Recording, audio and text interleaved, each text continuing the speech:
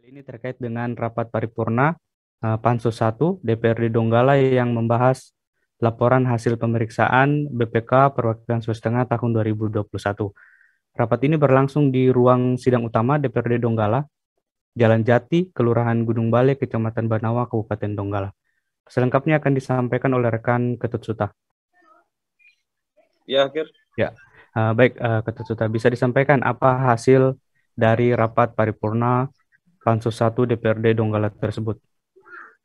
Ya, hadir dan juga tribunal. Jadi benar sekali panitia khusus atau Pansus 1 DPRD Donggala menggelar rapat paripurna membahas terkait laporan hasil pemeriksaan Badan Pemeriksaan Ke Keuangan Perwakilan Sulawesi Tengah tahun 2021 yang berlangsung di ruang sidang utama DPRD Donggala di Kelurahan Gunung Balik, Kecamatan Banawa. Rapat dipimpin Wakil Ketua 1 DPRD Donggala, Sahlan L. Tanda Musuh, dihadiri Sekretaris Daerah Donggala Rustam Effendi dan juga dihadiri Inspektur Inspektorat, Kepala Dinas dan Kepala Bagian. Saat itu laporan hasil kerja Pansus 1 yang dibacakan Sekretaris Pansus 1 DPRD Donggala, Muspang, Mas Puang, dia menyampaikan saat ini tim Pansus 1 LPH BPK RI Perwakilan Sulteng belum dapat melaporkan hasil kerjanya, sehingga pihaknya meminta perpanjangan waktu kerja selama tujuh hari ke depan itu berdasarkan amanat yang telah disepakati saat rapat paripurna yang digelar pada 10 Juni 2022 lalu. Itu karena Pansus 1 masih akan mengundang OPD atau organisasi perangkat daerah dan masih mengkaji beberapa hal yang lebih uh, mendalam lagi dalam hal LHP BPK. Rapat paripurna ditutup setelah usulan itu mendapatkan persetujuan dari peserta rapat untuk memberi perpanjangan waktu kerja bagi Pansus 1 DPRD Donggala. Baik, uh, Tadi disampaikan uh, dalam rapat tersebut uh, Pansus 1 meminta masa kerja diperpanjang sampai dengan tujuh pekan. Uh, bisa disampaikan kapan rapat uh, paripurna membahas hal yang sama uh, akan digelar kembali?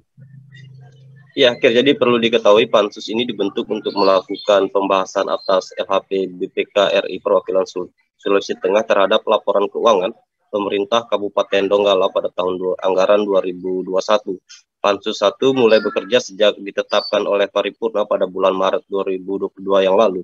Adapun saat rapat pembahasan laporan hasil kerjanya, rapat paripurna akan kembali digelar pada hari Kamis 14 Juli 2022 mendatang akhir. Ya, uh, baik Tribuners. Sebelum mengakhiri laporan dari rekan Ketut Sulta, kami akan menampilkan video rapat paripurna Pansus 1 DPRD Donggala. Uh, berikut videonya.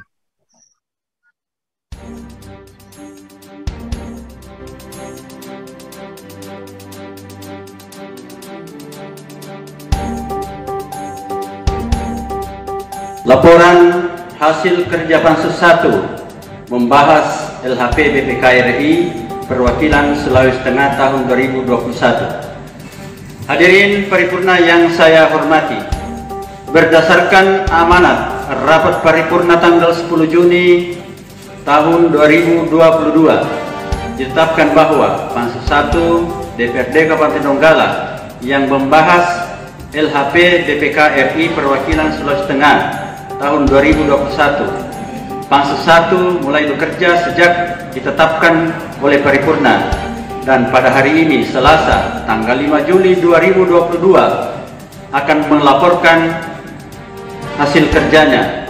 Namun Pansus 1 belum dapat melaporkan hasil kerja tersebut karena Pansus 1 masih mengundang OPD dan mengkaji beberapa hal yang lebih mendalam lagi dalam hal LHP BPKRI tahun 2001. Olehnya itu, maka melalui rapat paripurna hari ini, Pansus 1 meminta perpanjangan waktu kerja selama tujuh hari kerja.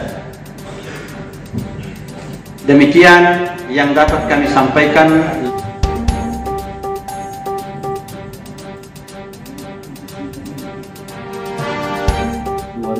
2022 sampai dengan hari Rabu 13 Juli 2022 dan akan melaporkan hasil kerjanya pada hari Kamis tanggal 14 Juli 2022. Apakah dapat diterima dan disetujui?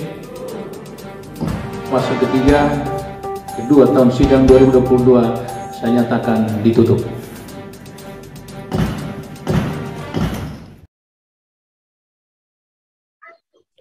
Demikian Tribuners, laporan reporter tribunpol.com dari Kabupaten Donggala, Provinsi Sulawesi Tengah. Baik, uh, terima kasih Ketua Suta atas laporannya. Tetap jaga kesehatan dan selamat bertugas kembali. Baik, Hakir.